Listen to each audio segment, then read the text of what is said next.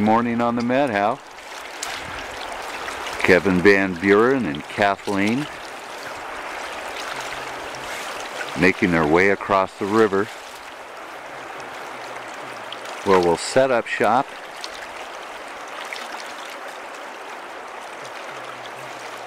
do some filming and do some video and do some fishing.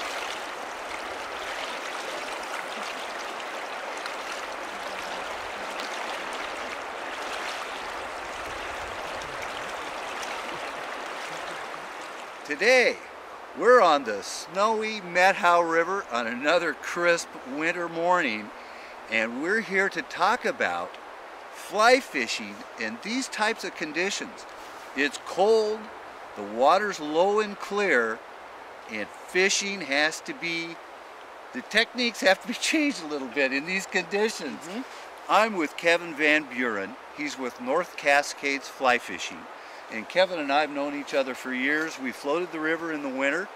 We fish Rocky Ford together. Mm -hmm. And this guy spends a lot of days on the river year round. And he's here today to share what he knows about fly fishing in these types of conditions. Now, we were talking earlier that actually the, the Methow River is at average flows for this time of year, which is how many CFS? Well, if you're looking at the Pateros, you're probably looking at about 330 to 350 right now. Yeah. Um, you know, up here where we are, a little bit farther up, we're looking at uh, the mid 200s. Right. And Kevin actually uh, gave me a call this morning because he knew I was on my way up. It was five degrees at his house. And he was thinking, maybe we want, to rethink this because our plan here is today is not only share information about tackle and technique, but also do some fishing so we have some action in our second sequence. But boy, I have presented you with a challenge today. you have. We have shelf ice, we have chunks of ice floating down the river, but one of the things, uh, I was up here recently too, is there's no reason to get out of bed and rush up here earlier in the morning. No, no reason to get up early. Great time to go have that coffee and, and muffin at the bakery, talk about it a little bit, and then come on out. Midday is the time to be here. Right, about 11 o'clock or 12 o'clock, and we've even seen the, the ice dissipate a little bit. At least it reduces the amount of slush that's flowing down the stream. We still have the shelf ice to deal with. But now you've been uh, North Cascades fly fishing for how long? Well, officially that company has been around for uh, about a dozen years, but yeah. I've been in the valley um, guiding and, and guiding on private lakes and things like that for over 15 and personally been in the valley fly fishing for a little over 20. That's right. And oftentimes um, I will advise clients that, that call me and want to know what's what's going on in the Methow, what's what's current conditions, what patterns are working, those types of things. I direct them to you and they get a hold of you through Sun Mountain Lodge. I do. I book my guide service through Sun Mountain. I also happen to work in that shop, and we're a recreation shop and a fly shop, and, and we give tons of free advice. People that may not even use my guide service, may or may not shop in our shop, but they just want to know uh, either conditions or river levels for safety, especially whether they're floating, some advice of where to go, that type of thing. That's exactly why I direct people to you. You're always very welcome to answer any kind of questions. I really appreciate you sharing the river flow information, safety concerns, also current what's working now, and Kevin's always willing to answer those questions. Now you mentioned some private lake fishing. Mm -hmm. That's also booked through the lodge, and you guide on Moccasin Lake, is that right? That's correct, yep. Good, that is a fun, beautiful spot too. It is beautiful. The neighboring ranch to Sun Mountain, it's a 4,000 acre piece. It looks over the valley. The lake itself is 35 acres huge fish, uh, triploids, uh, rainbows, browns, and it's all catch and release and, and private select fishery. So, you know. Fantastic. Yeah. now, one of the things we were talking about earlier too is not only are steelhead abundant in the, the Methow this time of year, but you're going to have incidental catches of everything from bull trout uh, to some beautiful cutthroat, whitefish, and, and, in fact, there's even coho present in, in the river at uh, late times of the year in the late fall, early winter. That's right. You know, sometimes you might even hook into some other salmon, but of course we don't target those, and those are pretty rare. But this year, the coho uh, numbers were higher than they've been. It was the first time in 30 years that they actually opened up the fishery on the Methow. Yeah. So that was really fun for people. But Like I said, we've got whitefish, resident, um, rainbow, um, and, and the bull trout, and great cutthroat fishery, of course. So you could go through a day and hit three, four, and a special day would be even five species. It would be incredible. Just amazing. well, if you haven't visited the Methow Valley, it's one of the most beautiful places on the face of this earth. The fishing on the Methow now is almost a year-round prospect. You have great rainbow trout, cutthroat fishing through the uh, spring and summer months, and then we roll right into steelhead fishing. And as you say, now uh, even last year, you know, we had our first coho season on the on the Methow River. So there's a tremendous variety of things to do, and lots lots of river. I, I I've said that if there's a river in heaven, it's probably the Methow, because it's it's a great stream for all kinds of anglers, but it is very popular with fly fishermen, and that's what we're going to talk about next, is what kind of tackle to approach the Methow River in these low, clear, and cold conditions. Yeah. No one is happy about having to repair a vehicle after an accident. However, I was very happy when I chose First Choice Collision Center when I needed this service. I can't say enough about how they treated me. Fast and friendly just doesn't say enough. They have amazing technology to make a damaged vehicle look like new. At First Choice Collision Center, you can expect modern service with old fashioned values. That was my experience, and I'm sure it will be yours too. Your Town Ford is kicking off the season with the best deals of the year. It's the Built Ford Tough Truck event. Great power and amazing fuel economy means no compromises. And that's what you get in a truck built Ford Tough, like the Ford F 150, with a powerful and efficient EcoBoost engine. The power you want and the economy you need. Or Ford Super Duty, with its amazing 6.7 liter Power Stroke Turbo Diesel. If you're looking for power, payload, towing economy, your Town Ford's got the truck for you. Head to your Town Ford in East Wenatchee.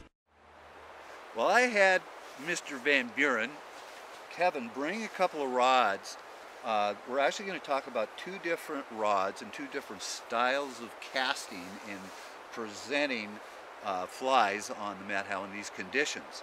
And what I, this rod I'm familiar with because uh, when we fish together, I know this is your say standard rod that Mhm. that you use consistently out here. Uh, in a lot of conditions, but it works very well in this low water, uh, cold weather conditions too. And this is, uh, what length of rod have you got? This one's a 10 foot, so it is, you know, it's got a lot of length still. It is a traditional rod, single handed rod. Um, you know, you can go anywhere from a 9 foot, 9.5, 10 foot. I, I wouldn't definitely not go any shorter than 9 feet. And, you know, some people, they, they feel that, hey, um, on the interior here in the Northwest, they can get away with a 6 weight for steelhead fishing. I personally like to go 7 weight and above.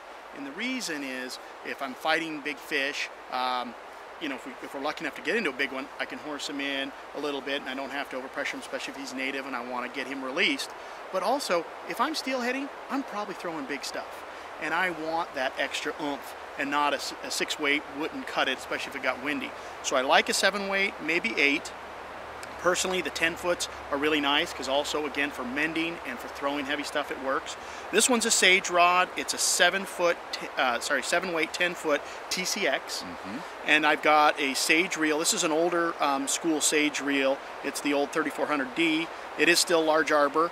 And, um, and then I've got a line on it, just a standard, uh, the Rio Gold line.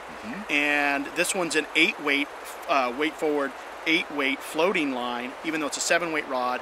But I like to go up one weight when I know I'm throwing big stuff. And of course, if I'm steelheading or and I'm nymphing, I'm always throwing big stuff. Well, and you're going to work a lot less hard when you've got a longer rod. It just takes a lot of the effort out of it.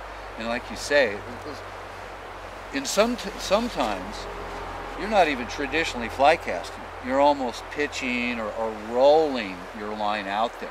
And the longer rod really makes that easier.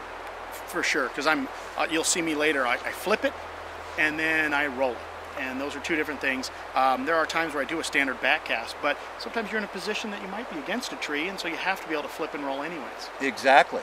In fact, um, one of the other rods that I'm going to have Kevin show you is a switch rod, and he's going to describe how he sets that up.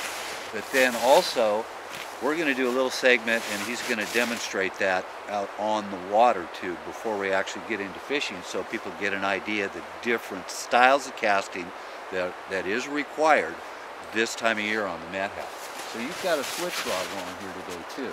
Yeah, and uh, these have become popular just like the 9 foot 6 and 10 foot traditional rods became popular, you know, a dozen years ago in the Northwest Yeah. um, as the spey fishing picked up, but those are a little bit heavy, require two-handed casting. This is an in-between, which is why they call it a switch. Yes. It's light enough that I can cast it with one arm. If you did that for eight hours, you'd feel it in your shoulder. So once in a while, I'll put my second hand in here, and that really gives me the power to flip it and roll it, which I'll show later. But also, they tend to be a bit longer. This one is um, 11 foot 3 inches. It is also a 7 weight, but it's quite powerful for a 7 weight. So it's a 7 weight, 11 foot, and then I'm fishing a Sage reel again. This one's the newer style, a little lighter weight. It's the, uh, this one's a 4580, the CFS.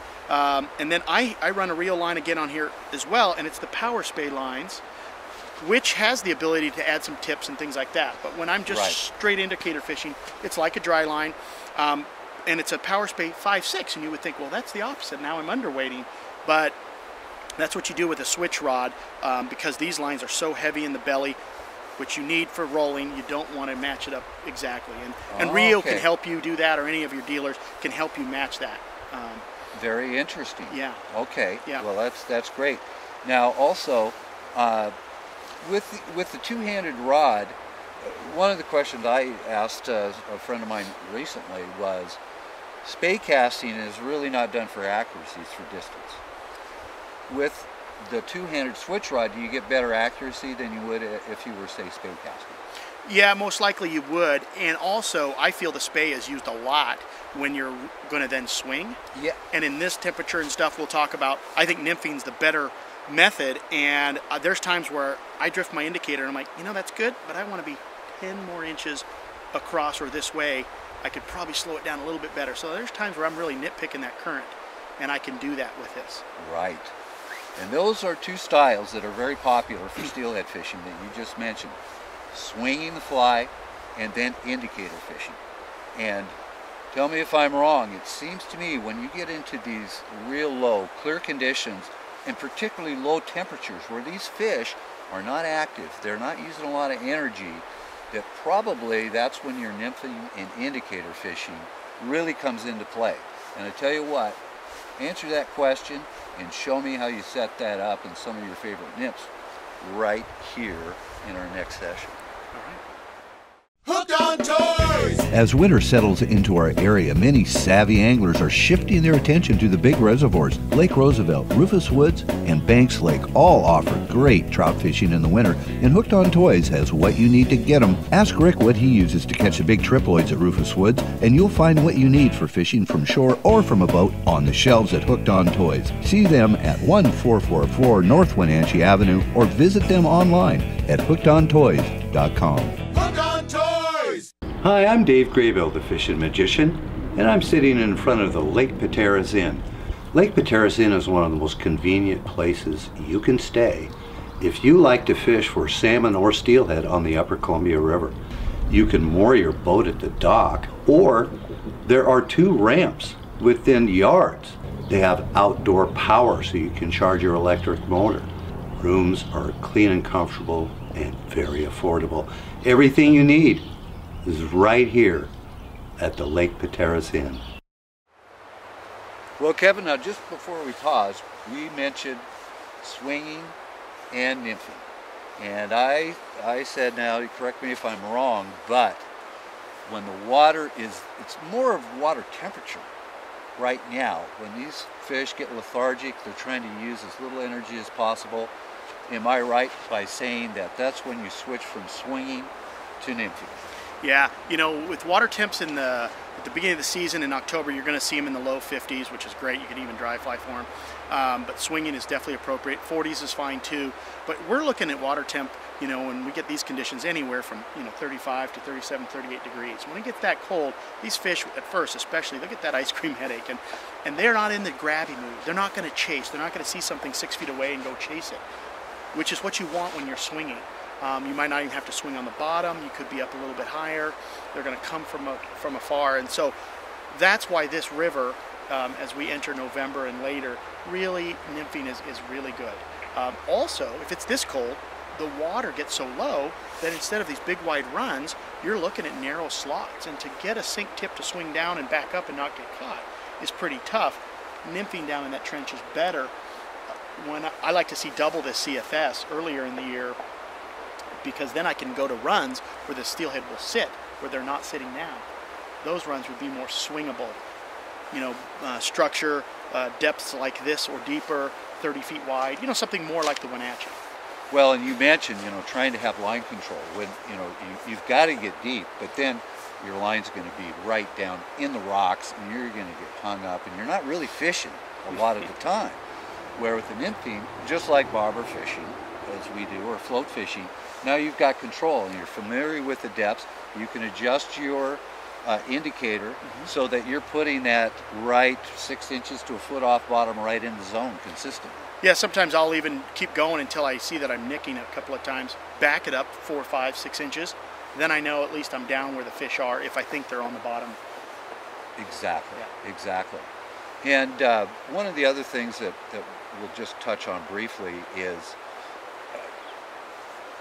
to your mind too. Now are you getting a longer drift with the nymphing? And i'm talking about the fact you're dealing with ice. So the longer you can keep your, your line in the water uh, the better off you are because the more casting you do the more icing you're going to get. Yeah and we'll talk about this um, you know i feel once you're fishing keep fishing. So if you've spent the time to cast it mend it all that and you finally get your fly six and a half eight feet deep keep it there because if it's only there for three feet and all of a sudden you're done drifting, why not keep feeding line? And that's where that mend originally comes into play because you're setting yourself up once you're fishing for an additional 20, 30 feet of fishing.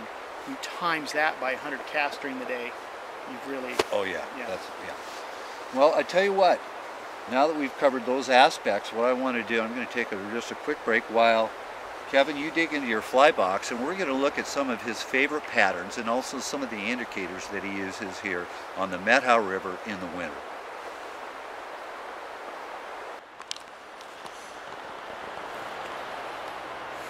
Well, I've had Kevin reach into his bag of tricks here.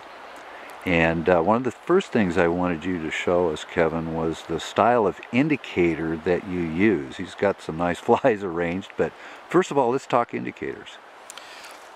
I've got a couple of here. I like the frog hairs myself, and uh, and it's a oval shape of foam. I've got two sizes in my hand here. I've got the extra large and the the large. And for the type of fishing I do and the weight that I need this time of year to get down, I'm at no smaller than the large and sometimes even the extra large and they give you these little rubber pieces to help uh, secure it but I just get rid of those and I use a toothpick. I send the line right down the middle and I'll later talk about why I use straight tippet because I don't want too many knots to deal with. Put that right down the middle use my toothpick and at a moment's notice I can yank the toothpick. It's not usually that long of course. I stuck it in there I cut it. I can yank that little piece of toothpick out move it six inches six feet two feet whatever I need cure it again and um, and I like the two color and we'll talk about that later when we're fishing. Gives you good visibility in these conditions. Yeah. Okay, now let's talk about some of your favorite patterns here. Well, you know, I feel that going natural in this river is really key. Um, you know, with spin fishermen and everything else, they get to see big, colorful jigs, and those definitely work. But sometimes those fish get used to that, and they do remember growing up and eating the natural stuff. So I, I use a lot of stone patterns. Here's a couple different sizes. I tend to use bigger ones. that probably are heavier, helps me get down. And then behind that, 18 inches, 2 feet, I'll usually send something else, usually a little smaller. Um, uh, this one here um, looks like a very large chironomid, and this one obviously is kind of eggy looking, but they've got some bright color to it. They've got some curvature to it, so it can look kind of nymph-like, especially this one. Um, and then, smaller yet, I'll use you know, the basic rubber leg copper john. Most people disregard the chironomids, but that's truly what's out there a lot. And you can also pick up other fish. And then, of course, when the salmon are spawning, you get the basic egg pattern um, above a hook. You want to make sure you understand how to fish that. You don't want it too close or too far. You want to be safe and make sure you're only hooking the fish in the in the jaw there. So, and then there's a combination of all these you play around with because of weights and colors and sizes. Well, I had a glimpse at your box and there are hundreds in there. So this is just a few examples of what you have in your arsenal, but basic patterns that are go-to for this time of year. Also, I was wondering, I noticed most of these are a bead head for weight. Are any of them lead wire wrapped for weight? Yeah, this one right here has that, and um, and when I make flies, you know, I can adjust how many wraps I put on there. I might even make two or three of the same size, but for different weights. Heavy currents, really heavy, especially down in the canyon. A little bit slower pools, ones that sink a little slower, and I I use a real um, a non-lead wrap because of uh, the I don't want to put lead in the river if I was to lose one or or snag one up or something. Well, that's great. I tell you what, let's tie up a few of these and get them wet. Let's get out on the river, show people some casting, and maybe even catch a fish. Okay, Kevin is approaching the hole, this particular hole, and he's opted to uh, throw the switch rod, a uh, little heavier rod. It's got that big indicator on, and uh, hopefully what you'll be able to see is how he mends that indicator to make sure that's upstream of what he's fishing with as it drifts through the hole. And with luck, there might be a fish or two in here. And I am confident that if they're in there and in a mood to uh, bite the uh, pink bead that he has on the bottom or the stonefly above it, Kevin knows how to present it.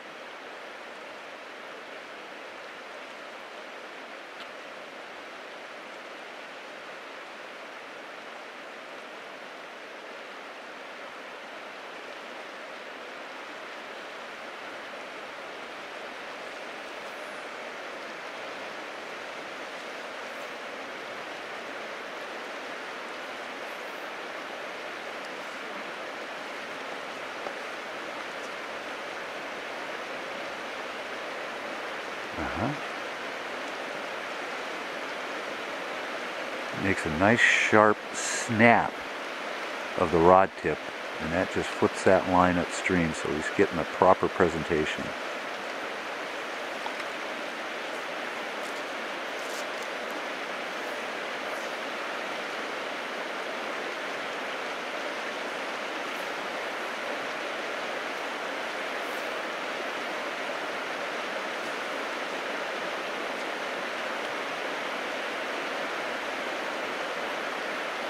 Very interesting.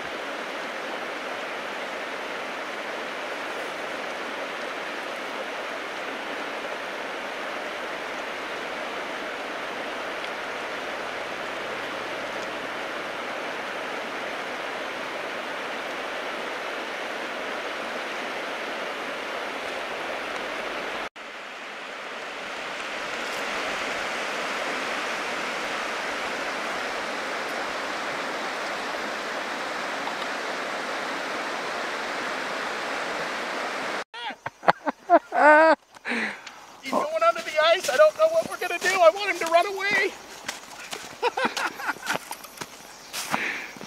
that was the most interesting hook set I think I've ever seen, Kevin. I haven't seen you run up the river pulling the line as you went. Now my, now my first stuck on the ice.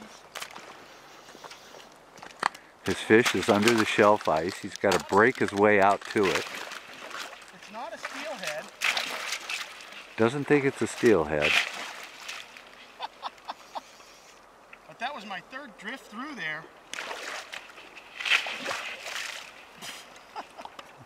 that was good.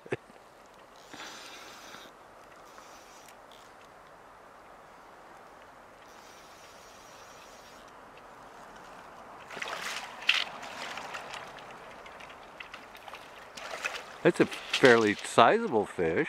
This is where you kind of have to be very careful because this ice is sharp enough that if you cut your line, but even you, and you want to just break an opening to get to your fish so you can release them safely. There. That might make it a little easier on the next drift through. You've cleared a path It's to the water. Nice, long, fat uh, Methow whitefish. Oh. It's big. She took the egg.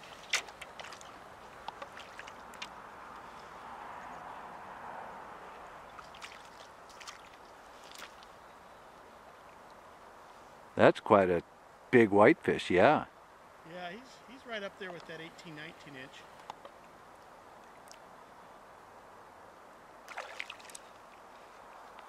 Really good warm-up fish for you. The goal of battery systems is to provide the best products combined with the most efficient service at competitive prices. I've found their people live up to this, so don't buy anything without talking to them. You should make their batteries and accessories your choice to power your vehicles and boats. This is Dave Graybill, and I choose battery systems to keep me running onshore and on the water. To find a battery systems product expert in a location near you, log on to batterysystems.net. Gaboon Productions LLC is a full service video production company right here in the Wenatchee Valley. Gaboon is a term coined by my grandfather, commercial fishing in Alaska. It's when a bunch of fish hit your net all at the same time. We capture life as you see it, from filming those special moments to catching something big.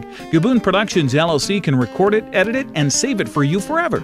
We do weddings, theater productions, concerts, reunions, commercials, and more. Go to GaboonProductions.com on the web, check us out on Facebook and on YouTube. Gaboon Productions LLC, the little video company capturing your big moments. Not sure how well you can see it, but we actually walked upstream here and broke off the shelf ice. It really makes casting difficult because your line sticks to it. Your leader could get cut on the edge of it and we would have to break a path to the shore if we hooked a fish. Thinking that might make a change, and of course now we, we hooked one, so we'll see. We don't want that 3X against ice. No. I'm going to uh, break ice right in here. He's already starting to go so underneath this shell. Thankfully this isn't that hard.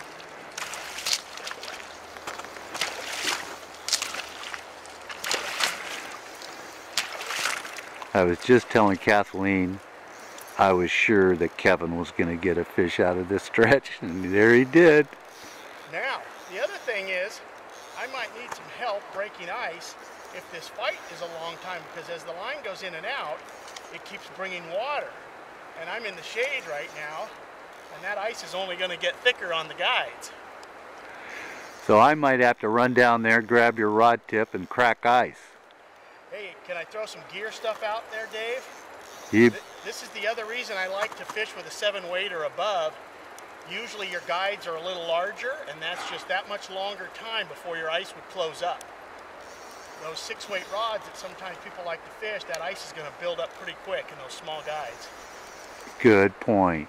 You saw a pretty big tail, eh? Yeah, he's rolling. I can see he's a pretty big fish. And uh, looks like a pretty nice male steelhead, possibly. Yeah, he's rolling around in there. He's playing pretty nice.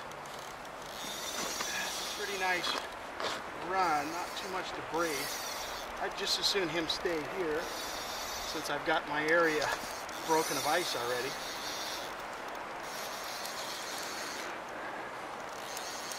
You know, when I'm dealing with ice and I did go lighter tippet since it was a little tougher day of fishing, a little low water.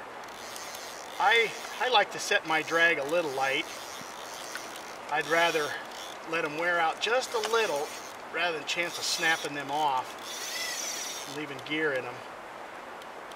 With this ice, sometimes it'll grab so fast that if you have just a little tension on that reel, it's so easy to snap them when they want to run and your line hesitates for just a second. He's not going for the blasting run, but he surely does not want to come up into these shallows. I might pull him down onto this point here.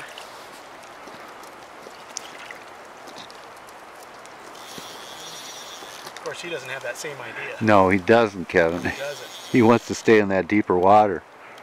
Just keep keep my eye up on those guys. They seem to be doing pretty good. Maybe it's my excitement, my hot breath is Right. getting that melted. Conducting uh, the heat through the length of the rod. I've warmed up all of a sudden stepping into this cold water, but I, I have a feeling it's not the air. oh boy, he just won't budge right there. Oh, there it is. Yeah. Come on out in here with that net.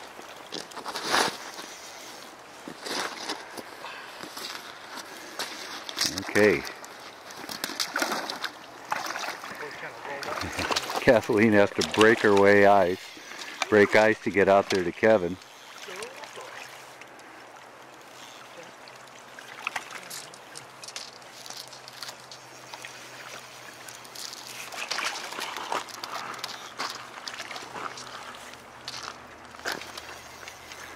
Oh, that is a. Oh, okay. Now I see it. Oh my goodness. Can you turn around, Kev?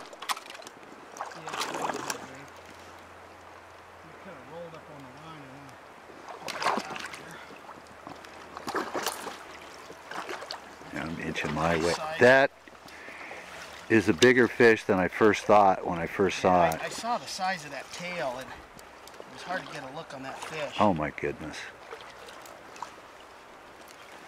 Well, you had to go slow with that light tippet. I mean, a good head shake out of that guy and you would have been done. We'll eat that later.